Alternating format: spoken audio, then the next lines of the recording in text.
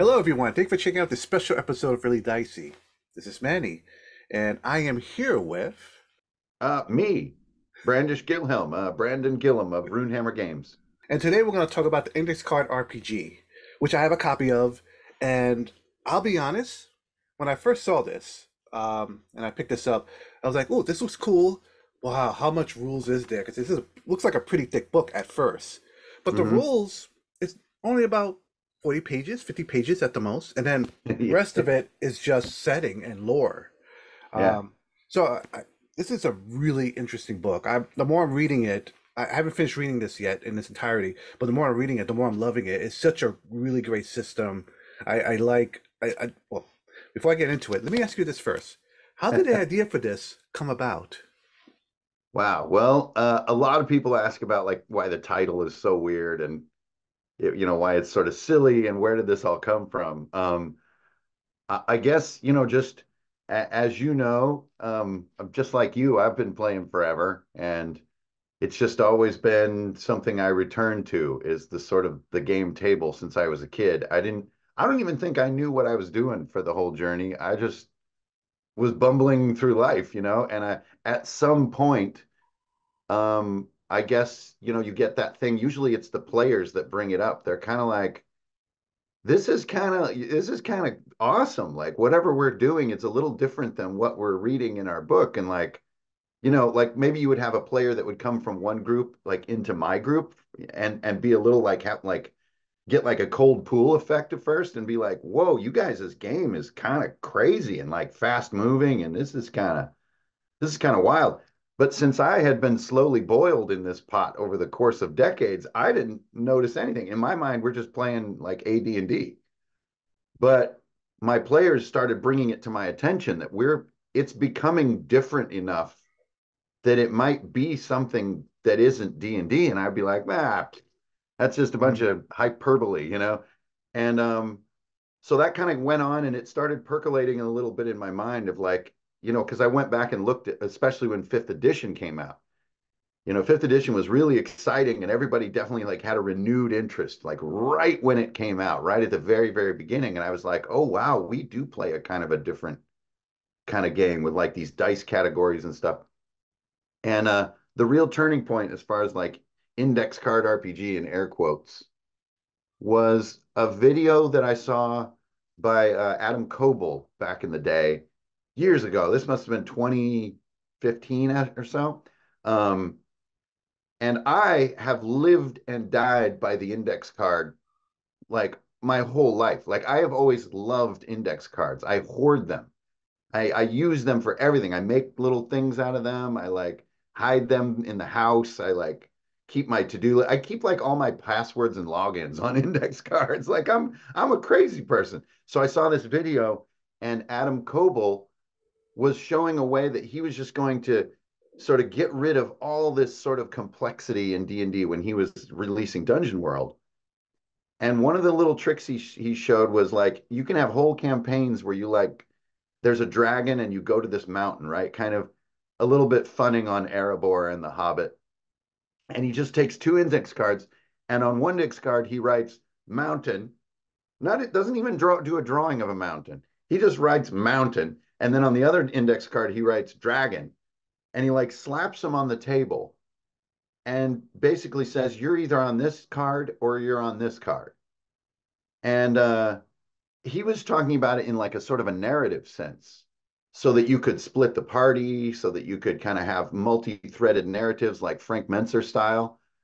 And that's kind of what he was implying. But in my mind he like reached through the computer and grabbed me by the forehead and like yanked me into my own future. You know what i mean? Like i was like it it so clicked in my brain that like that's kind of what i had been doing for a really long time, but I had never noticed because I was inside my own context, you know, like I, it was just D and D to me.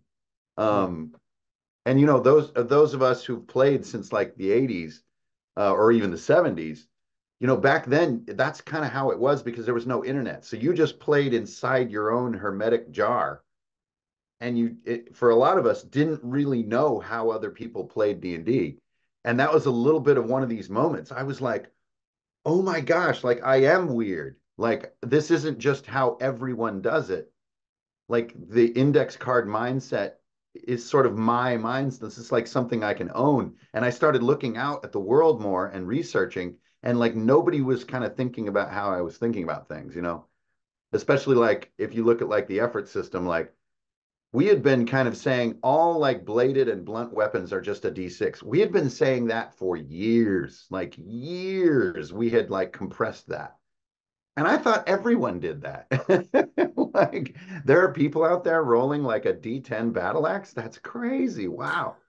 So once that kind of like dawned on me and i kind of popped out of my little you know sealed jar of my own style of d&d and looked a little more at the world I did realize that I had something that was kind of kind of odd and unique and and that's where I just wanted to name the book after it. The index card became so central that to me that was like a way to differentiate myself. You know, a lot of games have like these kind of heavy titles. Um, so I, I wanted to just completely open the doors and like let the sun in, so to speak. hmm. so, so, if I may ask, I, I find your story very interesting because I remember when I first played uh, Dungeons and Dragons. I remember it was it was I was playing in a game of second edition D and AD and D in a Dragonlance setting, and I didn't mm. realize until much later that when I was playing and learning for the first time, a lot of stuff he was doing was kind of homebrewed. Yeah. So when I, uh, I, I I remember buying the player's handbook, but I didn't really read that carefully. So we we um I sort of played along and added his homebrew, my homebrew of the rules, and what was in the books, and kind of made a system together. And I didn't realize until maybe a year or so later that maybe there were certain things I was playing wrong, and I, I had to go back and check things. You know how sometimes players were like, "Hey, wait a second, this is not in the book," and then you kind of yeah. have to. Was that is that very? Would you say that's very similar to what you went through? Kind of like like just for you, it's like, all right, we could play it this way, but for me, it makes more sense for just kind of like take out all the extra stuff that kind of uh, uh, uh, not brings you down, but uh, uh, just just uh, just to make things more easier for everyone. Yeah, yeah, and I I think not only is that kind of my journey, uh, I think really the five E sort of phenomenon that we've seen in my lifetime as a gamer is the first time I've ever seen it suggested that that isn't the main way.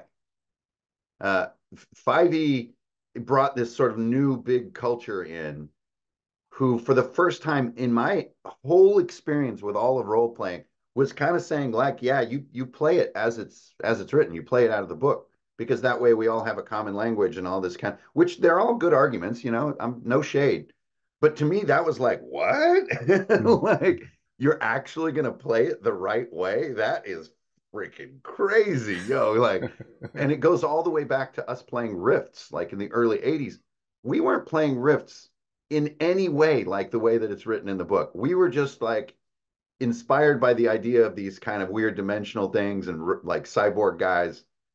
The, who, the rest didn't even matter. We kind of vaguely understood what this rule book might have been saying but it didn't matter because you know a, a lot of people who are even interested in role playing at all have a little bit of a flair for game design and a little bit of a flair. I mean, also, you don't have to play Yahtzee more than twice to be able to invent a game like Yahtzee. Mm. You know, the, the core of all dice based role playing is not, you know, inventing the atom bomb. I mean, it, it is relatively simple stuff. Like you kind of are succeeding and then looking for quantities. I mean, it's, it's kind of it. Mm. So I think 5e is actually the, one of the most outlying uh, game phenomenons that is more sort of played by the book. I think the homebrewing that you describe is is the biggest segment of the hobby. I just don't think it's necessarily that visible. Uh, I think that like, well, like like so much of what we do, the people doing this stuff are not necessarily on the internet. They are not necessarily publicly exposing themselves with their hobby, but mm. they're there. They're out there. They're painting Warhammer. They're they're painting half of their Space Marine army and then putting it in a box. You know, they're they're playing D&D for 3 or 4 sessions and then taking a few months off. They're, you know, they're reading like I don't know, they're reading like the Gauntlgrym novel or like a Drizzt novel and then not thinking about it for a year and then playing a few sessions of D&D and homebrewing it. Like the the the deep hobby to me is very invisible and very hard to see. Um, but I really believe that it's out there and it's huge and it's what you describe. I think you just described the what I think is the biggest segment. I can't really give you the evidence, but in my heart, I think that is the biggest. I don't know about you, but every group I've ever been in, in the first half an hour, 30% at least of the rules are discarded. Mm. like in and I'm talking 15 to 20 minutes, like right away. If it's not on your sheet or something that's happening right away that's kind of fun, it instantly starts to fade, like like piercing or bludgeoning, for example. Like mm. that, talk about the first thing you don't even toss on purpose. You just don't ever put it in the soup. You're mm. like, you know, three years into a D&D campaign and says like, hey, should we use bludgeoning damage? And somebody's like, what is that? you know, like, you know, um, so I, I really believe that that what you describe is is the doing of it. I, I think that's the main sort of form that D&D is. It's like what Ben Milton called hermetic D&D. It's you don't really know about other people that much and you modify it to fit your own tastes which you can't do with a board game. Hmm. This to me is the foundational difference between role playing and a board game. A board game, you got to play within the parameters or you're just a lunatic and you're just bothering everyone. Hmm. But in a role playing game, everybody's sitting down knowing some kind of flim flammy business is going to happen. Hmm. Um, so yeah, I think it's central. Let's uh let's talk more about this. So anyone that for anyone that's um, discovering this or hearing about this for the first time, how would you best describe the rule system for your game? Mm. Well, index card RPG, uh, I mean, it's a D20 rollover, so it's it's going to be familiar to any D&D player. Uh, that would be my foundational statement. Like you've got the six classic stats from the decades, and you're going to be, you know, given a number like 12, and you're going to try to roll over it with a stat bonus. So at the very core, you know, there you go. And then for, you know, what I call rolling quantities, which is the other big part of like all dice based role playing, it just cooks everything down into categories. So, like, anytime you're using a weapon, it's a d6. Anytime you are casting a spell, it's going to be a d10. Anytime you're firing a gun, it's a d8. And anytime you roll a, a, a crit, you use a d12 and put it on top. So it kind of boils those questions away. Like, what's the damage on a longsword again? You know, which I don't know. You know, if you've been playing D and D for any amount of time, that question, I don't know when it's going to stop coming up. Uh, maybe never. I, hmm. I, think you could be playing with people who've been playing 20 years, and they will ask you, uh, "What's the damage on a longbow again? Is it the same as a short bow, or is it? I think it's more, but there's some kind of a something." So it kind of cooks all that away, um, and then uses a target number instead of variable targets. So that's probably the essence as far as mechanics go. Um, and what I mean by variable targets is like in D&D, everybody knows about armor class and difficulty class. And those are all over the, the, the map, right? Like this is harder than that. Uh, and in index card, you really just have one number for huge swaths of gameplay. It could be hours that you're rolling on the same number. And 12 is one of those harmonic numbers. You roll against 12 a lot. Hmm. And I think what surprises people is that rolling against a single number is actually great. It has just as much variability and just as much suspense and craziness as rolling against variable numbers. So mechanically, that's its essence. Um, I I don't think that is necessarily what's made it such a huge a huge seller. I, I think it's probably the the flavor and the tone of it um, I, I kind of hope anyway. I, am very proud of the mechanics, but I'm more proud of the voice that it speaks in. And I, it speaks in a very friendly, sharpie kind of voice, you know, like a, my, uh, it's another thing that's been a staple in my life is Sharpies. I've always like just, I, I've almost learned to draw using Sharpies, which is kind of a crazy, that's so backwards, you know, you really need to learn with pencil. but um, to me, there's a, there's a mood that comes with a Sharpie that's a very relaxed mood. And, you know, it's like you write the word office on a box when you're moving. You know that, and that that mindset of writing the word, you know, bathroom on a box, you know, in that kind of relaxed sort of font that you write in when you're using a Sharpie. That hmm. sort of esoteric feeling that pervades Index Card RPG of just like, go ahead and just make a quick note on a piece of duct tape. You know, go ahead and draw a smiley face while you're on a phone call. You know, go ahead and draw a shoe on your, you know, tax return up in the corner. you know what I mean? Like, it's all good. You know, don't worry about it. And, you know, come on over to my house and we'll figure the rest out. and I, I think that that tone has made it really inviting for a lot of people. And, and I think, at least for me, what really draws me to the book is the the, the design of it's really good. And you, you mentioned you. you. mentioned about the the, the, the tone of, the, of the words in this book, and I think also that has a, a big effect on me as well because again it it, it almost when I first, again when I saw how thick this was, I was like, "Ooh, how, is this going to be very rules heavy?" There are rules, but it's not heavy. At least not in the tone and the, and the discussion of it. It's almost like the book is talking to you instead of you reading the book about rules. Yeah. If that makes yeah. sense. And, uh, yeah, I, I, and I think that that that came from just a personal desire. You know, as someone who's been reading these damn things for decades, you know, I was kind of like, when is somebody just going to lighten up a little bit here and just kind of talk right to me rather than kind of, you know, dur, dur, dur, and now section one, you know, like, and I'm uh, right away, I'm like, oh my God, oh no, the fanfare.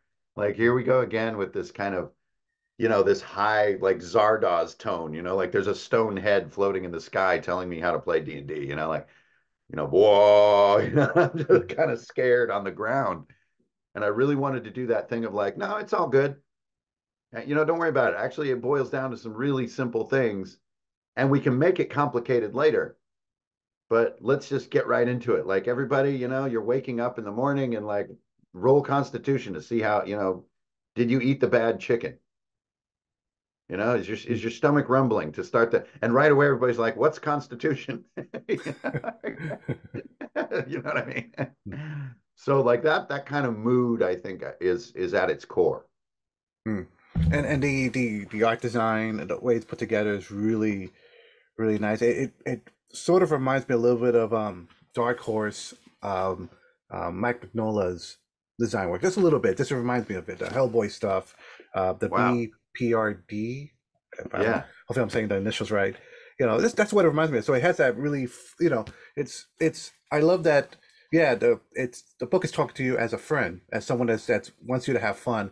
But the art style is almost like, yeah, but remember, this is this this. You're also um, about to head into some very interesting adventures, very dangerous adventures. So yeah. I love the the almost like the the I don't want to say it's contrasting the tones. Not really. It's it's almost like you're um it really feels like you remember how like in the Dungeons Drag cartoon they're going down that uh the the, the, the roller coaster. Uh, they're yeah. going down and things are it's getting crazier and crazier. That's what it feels like. Hey, this should be a simple ride, but now it's going. It, it's I don't know. I, I, think that's why I'm enjoying this so much. It's it's it's almost like I'm, I'm reading. Um, well, I don't want to say like a like an adventure story, but it just it feels like like I'm gonna be part of something big you know. Awesome. You know, but I'm sorry. I'm, I'm I could I could go on forever. How much I'm starting. How much I'm really liking this book. Um, I, I um, think too that that also just came from, I guess, like they say, you know, being a customer of your own work. You know, so I when I was when I'm looking at adventure books, which I've been, or you know, rule books, which I've been doing since like I can remember. It's like one of the first things I really remember getting into. Um, I I was like wanting it, I was wanting um, a little more of this roller coaster you describe. You know, like, yeah, let's start with some kind of some cardboard pop outs, and then there's like a waterfall that we go down, and then we're like in the cave. You know, and um, I often feel that there's this strange stuffiness in so many books. They they almost won't let themselves make that kind of wild ride occur. They're like they're sort of busy worrying about the naysayer. I, I really think uh, tons of books are written for the critical reader, not for the enthusiastic reader. Hmm. And so they're they're countering the the argument that may be levied in the future with their writing. And and this is common. This isn't like something that I'm unique for thinking. This is definitely the way that a lot of games are written is that you you foresee the deepest critique that could be brought and you write against that critique. And that way you're covered, you know, you're kind of you're good. You have a tight system. But to me, this is kind of a dark way of thinking. Uh, you know, I think that, and there's a lot of like little air leaks in ICRPG that numerous people have pointed out over the years. Um, and a lot of the things I write have little air leaks in them. Full disclosure, because I'm a little more busy, like sort of, you know, kind of towing you down into this sort of place that I'm in and trying to get your head in the tone and trying to like entice you and kind of like, you know, make little fireworks go off on the sides. Um, and I, I want that to come through. And sometimes at the expense of complexity and perfection, I would say, uh, if some rules lawyer people were to look at my writing. Um, but yeah, to me, that that feeling of excitement and enthusiasm is like what I'm all about. That to me is the root of everything. Mm. Let, us talk about your, your magic system. Uh, how how would you best describe it? Well, I've got two options. So in the beginning of the book, you kind of get the basic version, and this is just roll to cast, and which also blows some people's minds. You just roll to cast and like have at thee, um, and you do a a single die of output with whatever you may. If you're healing, you know, it's one of those die, and so on and so forth. Then in the back of the book, you have like the magic system uh, so in the early days of ICRPG, that was a separate book, um, basically at the behest of fans. So readers and fans wanted this kind of bigger, more complex, you know, mat like grimoire kind of vibe. I was like, ooh, that's really fun to get really into there. You know, like a lot of magic using readers want to get deeper and get more into things. And then that grew and was maybe a little overly complex or maybe a little heavy and that grew and became the refined version that's in master edition now that, that we're talking about. And that one is basically a sort of a give and take system. So it's like giving up either sort of a stun or you can use hit points as a resource and then building spells in power levels and their cost increases um, and even getting guaranteed casts rather than all rolls and then you know getting multiplicative outputs and then also specializing into schools to reduce costs and all these kind of things that I think advanced spellcasting players come to love because they love to show off their gadgets at the table. That is something that I think all wizard players have shared since the beginning of time is that you guys hold my beer. You hmm. know, check this out. And they're like, I thought you already cast fireball. And I was like, yeah, but see, I got this loophole. you know, like, and hmm. Just here's my real thing you know what i mean? And so finding those synergies and making up those gadgets for that particular player type i think a lot of people just breeze right over the magic section in icrpg but for that particular player i wanted to provide that ability to create gadgets um, in a spell sense. And that's kind of its foundation is it's a it's a cost and output balancing act. Um, which since i did that has now sort of started to pervade more of my writing um, and uh, toward the end of the book, you have these five huge settings that you can choose from um, to play in. Um, if I may ask, where um, I'm, I'm really glad that you, that it's included because this book feels complete. Uh, sometimes when you read a book and you realize, okay, this is probably going to be uh, another book and another book, another book, which is fine. I, I love books. I'll collect as many as, as I can. Um, mm-hmm. But this feels very complete, especially with the five settings at the end.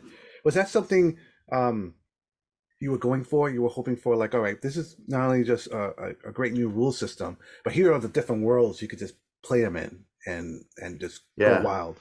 And again, in the beginning, it was a separate book, and I'll tell you, as a business decision, making a truly complete book is is like ill advised. So it's such a terrible idea as a business decision because I and the open statement of this book was I don't want to make more. And it isn't because I'm abandoning index card RPG. You know, I would never abandon it, but I did want to do exactly what you're describing. I, I again, as a customer, I wanted that complete book. Um, you know, it, it it's kind of crazy though. It is kind of like making a business statement with a with a rule system and saying like, you know, there it is. I said I won't make more, so I I'm not gonna. Kind of crazy um, especially because the scale of Index Card RPG and its readership is so big. It's you know a little makes me kind of you know it's a bit of a face palm. But from the reader's point of view, that's not a bad decision at all. It's really cool, as you mentioned. And yeah, I think uh, as as things grew, Worlds was the second book I released after the core. And as that readership really started to go up like a hockey stick kind of curve, I think that was when it started to get in my head about it would be really neat to get through what I consider the essential books and then combine them and revise them and clean them and really get that that one master book.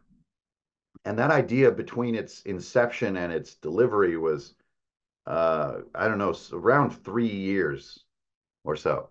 So it definitely took a lot of time to get everything to sort of fit um, and bring everything into line, and a lot of art had to be done. Um, but I, I, I always wanted that. I guess I just always wanted a book where, you know, and I I got to call Games Workshop out on this one. Sorry guys, you guys are the meanest with this. So you get the core and you give me nothing. Like right at the end of the core, I don't even get one army. Like it, it really breaks my freaking heart. so, so I I know that people, like you said, still love to collect. Um, but as someone who's felt that pain uh, of like needing to get the next book and then the next one and so on and so forth, I I did want to try to squanch it all down. And I think I was also inspired by GURPS. Hmm. Um, who GURPS was a crazy one because they simultaneously in the opening offering, Steve Jackson said, "Here's everything you need to make any setting you can dream up," and then on the exact opposite note, made more setting books maybe than ever any system ever made. Like there, there were so many. There was like river punk. I mean, it got so completely out of hand with how many GURPS settings there were. But in my mind, I don't know if I ever bought a single GURPS setting book, but we played in the GURPS core book, the original one from way back in the day, for quite a while. We actually sort of fused it into Fantasy Hero, which is like, I don't even know what we were thinking. I, don't know what how much of either we're actually using, but um, and I really liked that. I liked the opening tone of GURPS, where he was saying, "Yo, you know, like D and D is cool and it's over here. And Fantasy Hero is cool. Palladium is cool. MERP is cool. TMNT is also kind of neat. But with GURPS, you know, come on into my living room. Let's like figure out our own kind of mashup of these. I really liked that. Now, GURPS turned out to be quite clunky in the grand scheme of things, but was revolutionary to me in its day. Um, it's easy to be critical of it now, but to me, GURPS was really formative. So I was trying to kind of do what that first GURPS book did. Mm.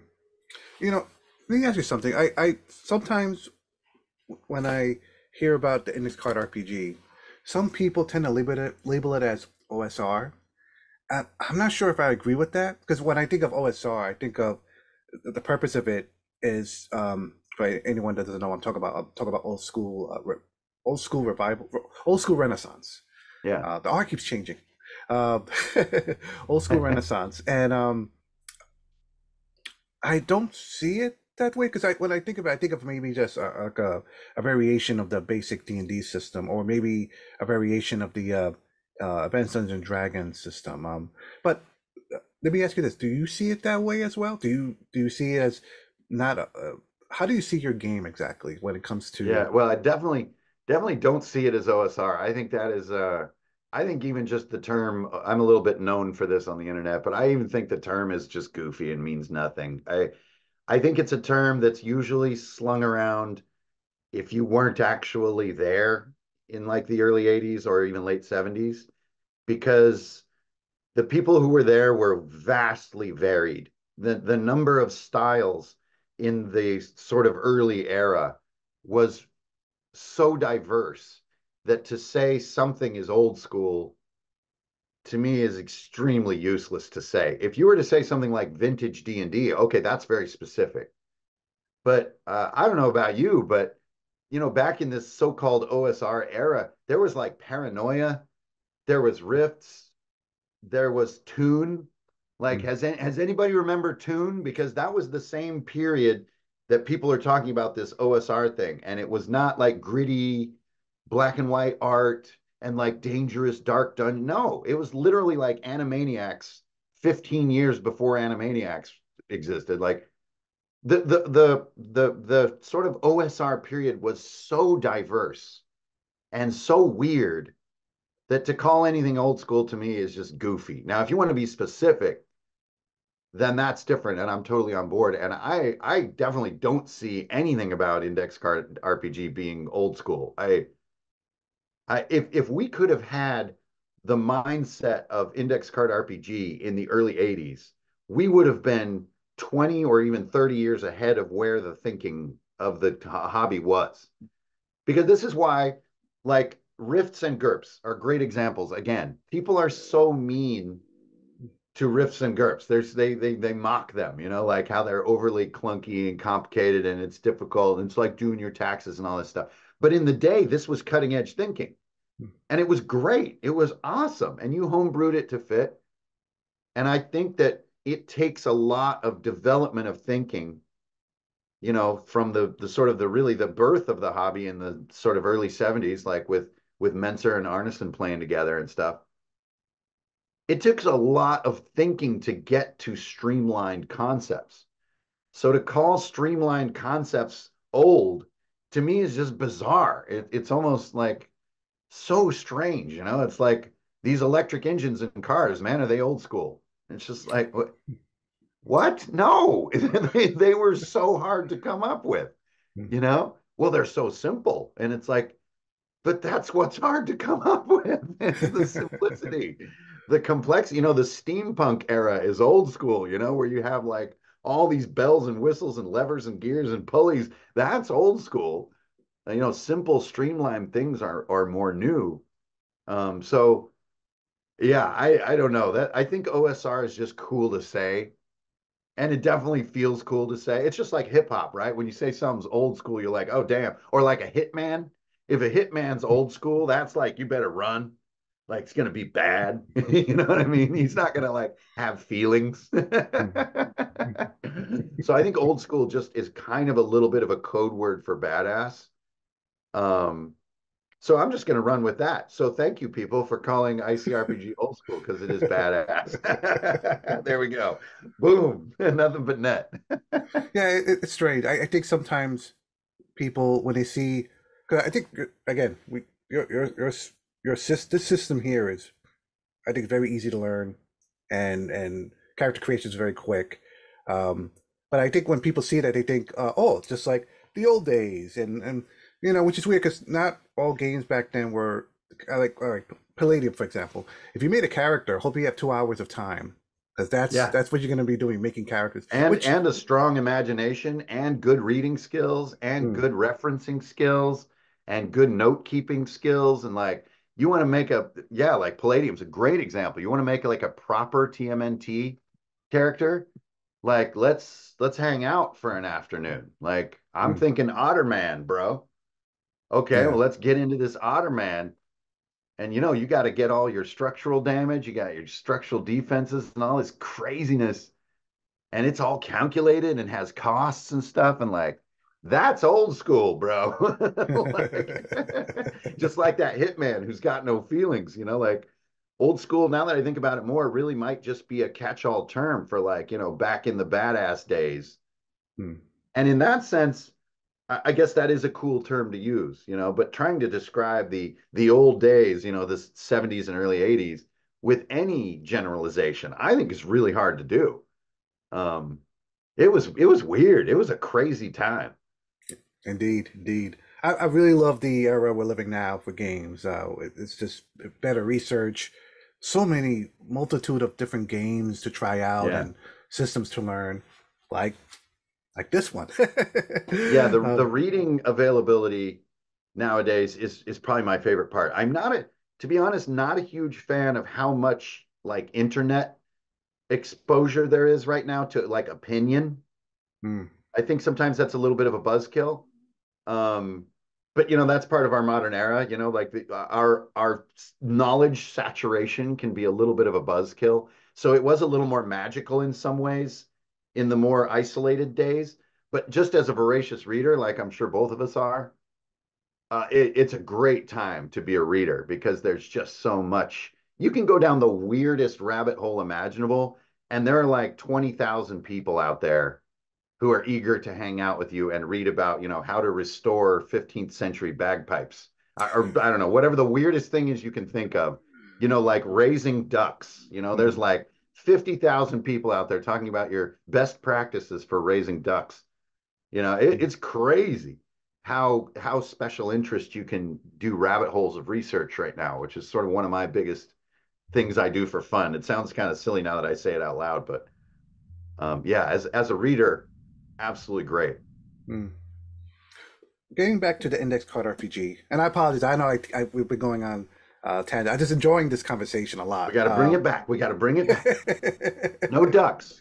yeah. No, you know, no. It's, it's great to talk to someone that I think looks like we this we had this weird parallel um discovering that of, of how we're discovering games and what we played back then so it's good to talk to someone that oh, pretty much played the same games i did growing up awesome. you know but cool. um, but going back to this um i really like your monster creation system um that's one of the reasons why i feel like it feels very complete because even there is a bestiary but um but if if people want to go on and find more things there's rules here to create your own monsters Mm-hmm. Um, can can I can I ask you like what was uh, uh the creation process behind your monster creation system?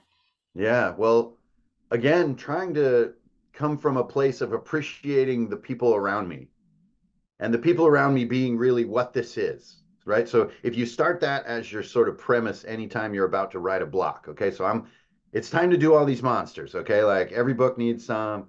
All right, I got to write these down. I got to organize it pretty good and stuff. But you know, I got a few ideas of my own, but again, that the root point being people, the people right around you, the people that are looking right at you, the, you know, the the real experience from two days ago, you know, and when you look at, at at those experiences as your root, one of the first things that that I noticed and that I still believe to this day is like, how many people actually just like have the the page open to the monster at hand and are actually delivering that sucker point by point properly as it's written to the table and my answer is going to be like somewhere approaching zero it's a calculus it's not an absolute number but it is a curve approaching zero it's like narrow in there and that isn't because of disrespect for material or because of lack of a capability on the side of the GM or anything like that. It's just more fun to be in the moment and also to have unique things popping up. So I know there is a group of like, you know, the the RAW kind of group. So like, well, we beat a night hag. All right, let's let's do the hag thing. So we beat a night hag and we played it like straight out of the manual. And so we can we get the Boy Scout badge. We beat it as it's written. That is definitely a culture. Hmm. But in my experience, the well, this is actually this is this is Blue Ear, and she is sort of part night hag, but she's also like that crazy shopkeeper that you saw last week from like the the apothecary. It's her, right? And right away, when the GM or the group is having these kind of revelations and these funny sort of you know uh, MacGuffins popping out, it's different than what's going to be written. You know, she's going to look like the vendor that sold you potions last week. And she's going to have these little details and foibles that fit her into what's happening in the moment. And I, I would like to call people out right here, but my guess is 90% of the time or more, the GM's going to, their gaze will slowly lift from the night hag entry in front of them on their notes or in a book their gaze will lift and return to the people at the table and the board that they're looking at or the miniatures. And it will veer away from that fixed sense of what this foe would be. And it's even as simple as something saying, like, oh, yeah, these are goblins, but these fools are tiny. like, wait, what? Yeah, these are like, I don't know, man. They're like barely two feet tall. You, you can't look into the book and get like a two foot tall goblin and play it sort of by the book. You are right, you are off in the weeds. And so, what I wanted to do with Index Card RPG is say, hello, friend, I'm like you. I tend to make almost everything. Even when I wrote all these monsters for this book, I got to come clean with y'all. I will probably make most of my monsters on the spot. because the spot will call for something I didn't quite see coming or that is unique, and I'll make the monster right in front of my players. It doesn't need to be some kind of secret lair BS where I'm some kind of mastermind with all this hidden knowledge or something. I, I just don't believe in it. I'm right here with you guys. Uh, I'm thinking you guys like this guy should have like maybe eight hit points. Does that feel about right? And everybody's like, oh, yeah, that sounds good. And I want to give him two attacks because he seems really fast. Is that is that cool with everybody? And they're like, yeah, oh, he he should definitely have two attacks. All right, cool. But I'm going to want make one of them a little bit of a surprise, and I'll make a note. And we're done. We've just made a monster together as a table in less time than it takes to take a turn. Hmm. And that to me happens more than I think people even see in themselves sometimes. I think they do it and they forget or don't notice they're doing it.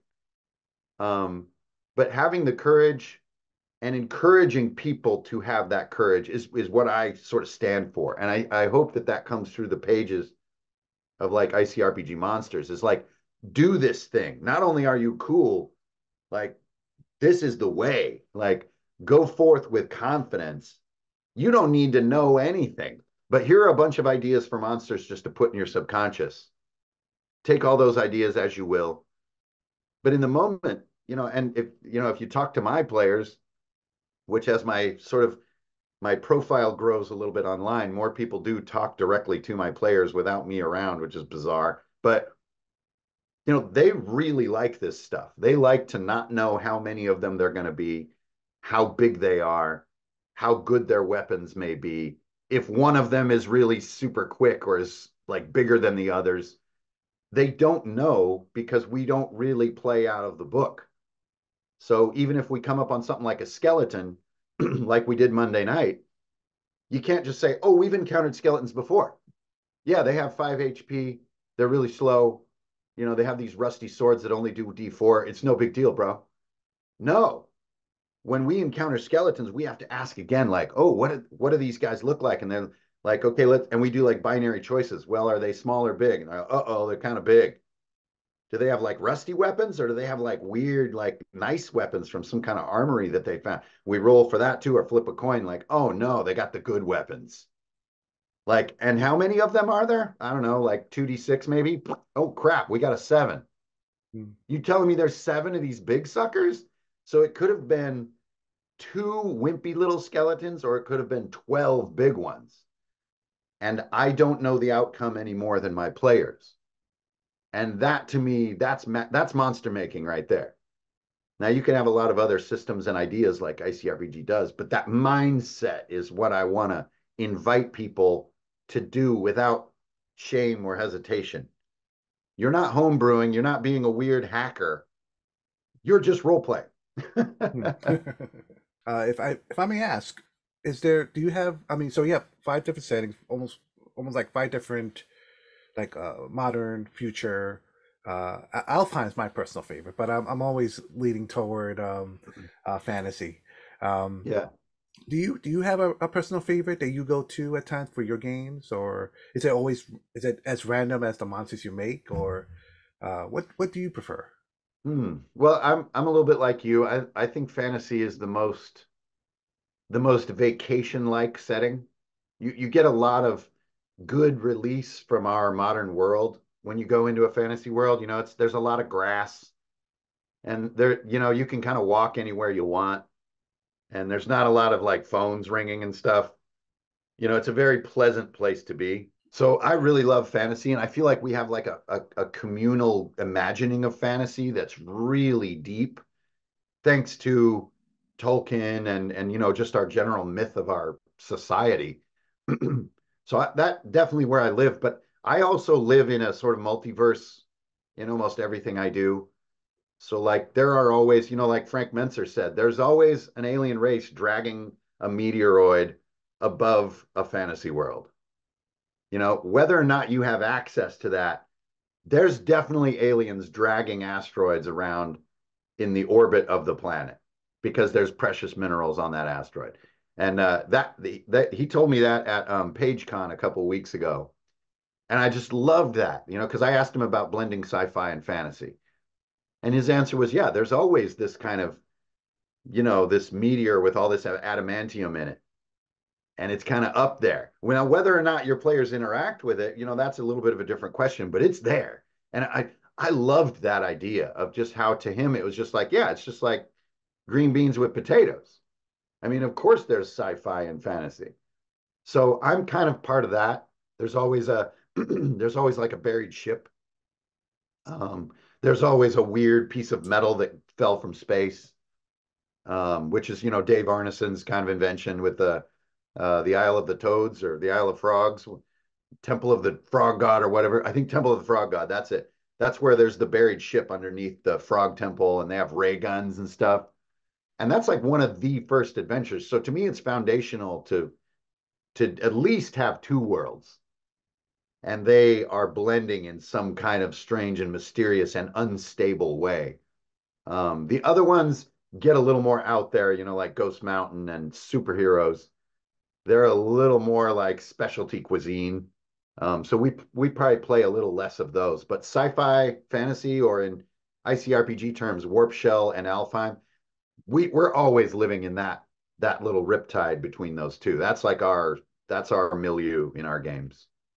You know, it, it, hearing you talk about it just occurred to me that so when I look at these five settings, I, I saw them as individual, separate settings, but it's sort of common sense now after hearing you talk about it, that these are also made that to be immersed with one another. Yeah, and the book actually offers the linkage. So we have this thing that's kind of a myth in the in the sort of ICRPG fan base, I guess you could call it, called the wizard lock. And the wizard lock is the symbol that's on the cover. And this symbol, oh. this symbol is the link between the worlds. And if you find it as a group during play, there is a way to sort of go through it or or unlock it to to to move between like Alfheim and Ghost Mountain, to go into the Weird West, and then return. You know, and and uh, you mentioned the D&D cartoon, you know, like the roller coaster was the wizard lock. Mm. You know, hmm. for reasons that were never explained either. I guess it was because Venger was like messing around with the human world and he sucked the kids in. I guess that was the explanation. So so Venger was on the other side in the fantasy world, sort of casting a wizard lock, not really knowing what was on the other side. And then because he was always the stupidest villain ever created, he accidentally cast it like right on a D and D roller coaster ride. Like, what are the odds?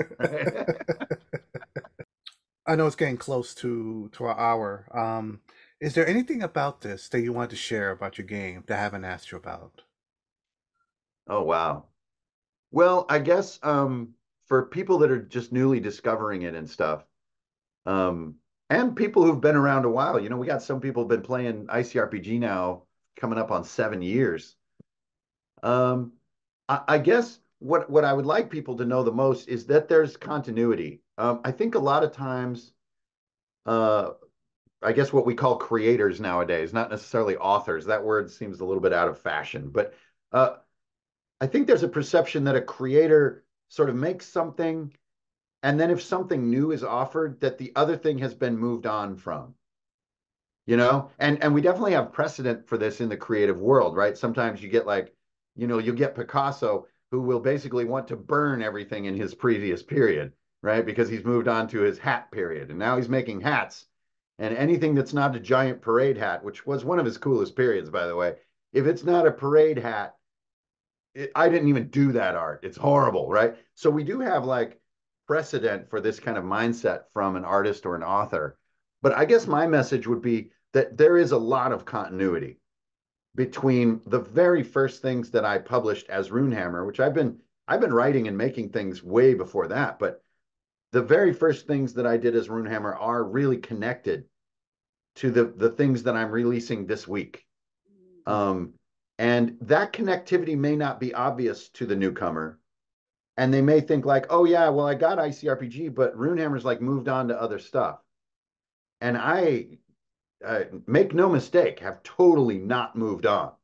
There is a there is weird, you know, fibrous connective tissue that is just getting stronger and stronger between all of these sort of aspects. Um, you know, like the warp shell universe, the the techniques described in Index Card RPG are almost for like the GM techniques, they're almost assumed for anything new that I write. It's almost assumed that you read like ICRPG as your 101 course. Um, and it, it's not that I want to present some kind of, you know, decades long, you know, masterpiece or something. That isn't really what I'm saying. It's just I want that reader to feel comfortable and to know that like my den is still open. You know, the fire is still going here.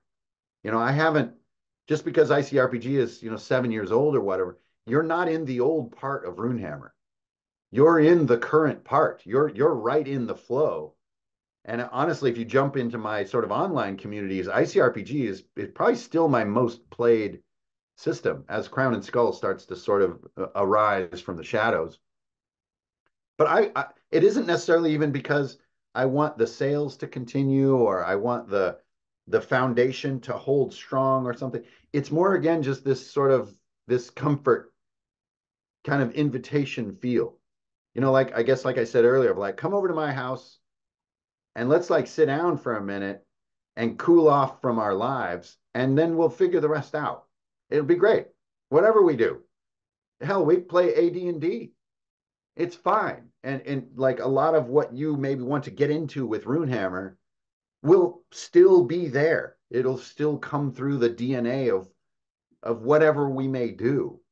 Um, and and that's something I really just want to extend to the hobby world itself is is that mood, you know, of like a crackling fire and like an old table, you know, and some notebooks and fountain pens and some dice and like, you know, cool bookshelves that are behind you to get the, you know, the the emanation of books, you know, being near books has a certain something to it. And then from there, it could be almost anything. Um, and and that's something I really just always want to like broadcast. So that's the connectivity between talking about ICRPG and talking about like what's happening like this week with Runehammer. And so if people are just now, like you said, you're not even quite done reading Master Edition, like you're that exact person, my man. like, like welcome. you know, get in here and let's argue if 12 is too low of a default you know like should 14 be you know? How hard do you like your game? Is 10 the magic tipping point? It's like flipping a coin. I don't know. We've been talking about it for ages. How do you do dual wield? We've been talking about that for five years straight. So like jump in here and and you're you know everyone's welcome sort of i think dual wield is one of those things that always crop always comes up in every game I've ever played. You know, like, absolutely. Okay, like, how can I use two pistols? You know, what's is there yep. rules for that? And then you have to check and see. But uh and, and it's and it should come up because it's freaking cool. like, I mean, let's face it, like the barbarian with two battle axes, the gunslinger with his hat pulled down and two pistols, and it's cool. So mm. let's figure it out for our table. It should be a perennial topic. And and again, that's that mood, right? Like acknowledge that it's cool and sure, we can use the AD&D rule for it. Why not, man? I mean, I, I don't have any beef here. I don't have like some kind of vested interest, like where I'm going to be like, uh-uh, no, we got to do it this other way. Like, I, what kind of, no, no, we're friends at this table. Like, you want to do it a certain way? Great. like, killer, man. Write it on a card. Keep it, you know, near your work area there so we're consistent with it. And all right, what next? You know, what next should we figure out? We looks like we got a gunslinger over here. What do you guys think? Is that fit what we're imagining? You know, are we are we doing a gunslinger thing all of a sudden? And like that's just going with it and being friends rather than I think some of this I don't honestly think it's even necessarily that real that our hobby is so strict. Hmm. You know, I think maybe the internet has has presented this thing of like, oh well, you know, shame on you, doody do, finger wagging. I honestly think that's just kind of like keyboard courage talking. I, I think in in when you really sit down with friends, with strangers it might be different. But when you sit down with friends, you respect what they have to say. No matter what bucket it may fall into. Hmm. And and there's a flexibility and a comfort and a give and take there that that is the game. And I just want to be a voice that reminds everybody about that that that maybe we don't see that all the time, but it's there. it's here, like it's at my house. What what what is next for Runehammer? Um, is there anything on the horizon that you're that you're they they can Oh yeah, nothing going on over here. Um, no, really, 24 is kind of the the year of lunacy over here. So in the immediate short term, Crown and Skull um is my new like it's going to be five volumes and it's sort of probably my most ambitious project of them all, but also sort of that has this sort of historical thing I've been wanting to do for a long time. Like it's a very old book kind of a feel, um, like old in terms of centuries, not decades. And it has just arrived, like the the literal ship made landfall like three days ago and should be ready to go out to everybody at the end of the week. So uh, the PDF has been uh, out a while for people and stuff like that, but PDFs never have much sticking power. They don't really generate a lot of interest. So we've been waiting for this big shipment, and um, so that's gonna that's about to sort of catch fire. So insanely excited about that.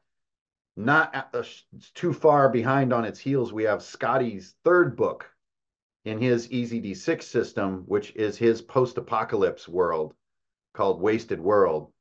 And uh, Scotty is a lunatic. His imagination is absolutely wacky. And so what I've done is I take his raw writing and I kind of rewrite it, put it in layout, give it art, and publish it. So I serve almost as a custodian of Scotty's imagination. Um, and that book is going to be ready to go here in a couple weeks. Uh, so that's exciting. Um, and then the the biggest one, obviously, which I guess is the sort of the real murmur, is that that I am opening a bookshop here in Philly this spring. So uh, the lease is all signed. We're doing the construction right now on the interior. Um, it's quite nerve wracking and kind of one of the craziest sort of swan dives I've ever done. But like so many role players and and readers out there, you know, like having a cozy little bookshop has always been a dream. Um, and I'm going for the dream. So really, that is the hugest thing on my horizon right now. Um, and you know, it's also because uh, again, kind of, I'm gonna go ahead and point a finger a little bit, but a lot of what have been come come to be called game shops are not what are inviting to me. Uh, I am not welcome in a way. I am not welcome where, you know, and no shade against playing Magic the Gathering. I know people love it, but I'm not really part of that. And I'm not really in that world. And it kind of has taken over what used to be like D&D shops or or bookstores. They almost felt more like bookstores in my day. Um, and I want to bring that back. I want that, you know, that kind of book vibe with a sort of, you know, like a cozy reading chair vibe, um, and more of a reader mindset. So, you know, game stores rock on, but you kind of turned into a thing where I don't necessarily like to be there. You know, it's like fluorescent lights and sort of like bright colored carpet and stuff. And yeah, I don't know if I have like a sensory neuro problem, when there's like fluorescent lights and weird carpet, I, I can't hang out. I, I'm like, I'm out of there. That's why cons generally kind of blow my mind a little bit. I, I just, I just can't. I can't chill with Mm, it. so one of my goals with this shop is to make, you know, like a nice moody space that really is probably kind of a little more adult. Um, and is about books and curating reading as a, and I want to bring the zine culture back. I know that zine culture lives on the internet, but no, I want to go up to a big ass rack of zines and I want to check them out. I want to I want to touch them. like I don't want to download them. I want to touch them and look at them and sit in a chair and give one a little bit of a read. Like so that's kind of the the big dream of the of the Runehammer bookstore. Um, and then I guess if there's one more thing I can kind of plug and mention, um, it is again something that took ages to do, but just what four days ago, five days ago, I did get the final production set of the Runehammer, the official dice set. ooh, So the world is jam-packed with dice. There are a trillion dice to choose from. And so I didn't want it to just have like the Runehammer label on it and say like it's the Runehammer set, like because I just said it is. I actually wanted to look at like all the thousands and thousands of dice sets I have and think, you know, what could be next? You know, what could be something that would that I would really treasure out of this? And it's not, it doesn't have to be, you know, like expensive or something to be a treasure. It, it needs to answer to the true player who plays like twice a week or more. you know, like what what does that player need or want in a dice set? And I've been working with only crits, and I, I think I'm probably their most difficult client they've ever had. So we started this process in July, if you can believe it. And we have gone back and forth over and over and over since July. By the way, Eric, if you're listening to this, thank you for your patience. Um, until just now, so almost seven months, six six and a half months. um, and then we finally got the set where I got him in the Ziploc bag, and I'm just like, ah, we got it. We finally did it. So those are now going into production. So in a, a couple of months here, six weeks to two months, those will arrive. We got a thousand sets coming. So I'm really excited about that. I, I truly believe that like dice are a little bit like books in some cases where they play to an ideal that may not be that kind of blue collar D&D player ideal, you know, which I don't mean blue collar in an economic sense. I mean blue collar in a in a in a grind sense, you know, like hmm. the the true heads out there are playing every damn week at multiple tables and carrying their to their friend's house. And like the, the struggle is real. Like and like hard to read dice or like overly fancy dice or overly heavy or overly pointy they're all stressors to the to the weekly grinder kind of player. Um and i want to speak to that player. That's like those are my people. Mm. and they're not the hugest segment of the hobby by any means. You know i guess what some people would call hardcores. Mm. um but those are my people.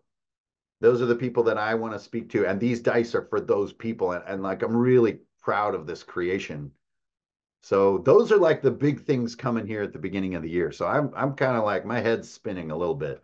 Hmm. I know you talked about um your your your, your personal dream being the bookstore. My dream is to have a a, a large bin like Scrooge McDuck. But instead of money to jump in, it'll be dice. so I'm excited about. And then the... he's doing he's doing the backstroke and he like spits them out. so I'm excited about your dice set. That's really awesome. Um, and cool. and your bookstore now have some place to go to when I uh, check out PAX Unplugged. So that's yeah, yeah, and that's we actually want to run. So we I did get a big enough space that we have like an event kind of area. Um, so we want to you know maybe have a war game event now and again, but then also put in chairs and do you know like have Scotty come to town and you can come and you know, do a do a little D and D weekend with Scotty and stuff. But obviously, any of the Philly cons, we will be live and direct. You know, so we'll be offering that other place to go in Philly when you're a little bit cooked on the con and ready for the second location. You know, come on over, and we're really looking forward to that. And we'll be um, by the time uh, Unplugged comes back to town, we'll be absolutely humming by that point. We won't be at the beginning anymore. So um, we are super duper excited about when that day comes about having probably some person in like a wizard suit over at PAX Unplugged to guide people over to the shop. You know, like it's something, I don't know, some guy in like a hoagie costume. I don't know what we're gonna do. But yeah, I think I think a lot of people are kind of having that idea. Like, let's go to PAX Unplugged and then go to Rune, Runehammer and go check it out. So really looking forward to that dream. Mm. Well, thank you so much for taking the time to talk to us about Index Card RPG. Very awesome. I'm enjoying this so much. Um, you mentioned um, Easy D6, and that's mm-hmm. something mm-hmm. next I was going to check out. After reading this, especially, I was like, oh, I got to check out these other books Hammer puts out. You know, this is great. I'm wondering what the other books are like. Yeah, um, yeah, I'm I'm a huge fan of Scotty. Scotty is my predecessor, you know, sort of on YouTube, um, and also just just as a person, I just really like his style. He keeps a pretty low profile these days, um, which I also respect a lot. Uh, and I, I think the the the soul of his sort of bright heart really comes through in his in his work, and it's been like a real privilege to curate and and refine and be a custodian of the way that he sees things. Um, Yeah, yeah, I just could not respect a person more than Scotty. Mm. Well, viewers, um, thank you for watching. I hope this is informative. I will put a link in the description below. This is available at Drive to RPG. Modiphius is also distributing this, which is awesome. Uh, Mhm. Put all that below in the description. Yes, viewers, thank you for watching. Stay safe out there. We'll see you next time. Thanks for having me.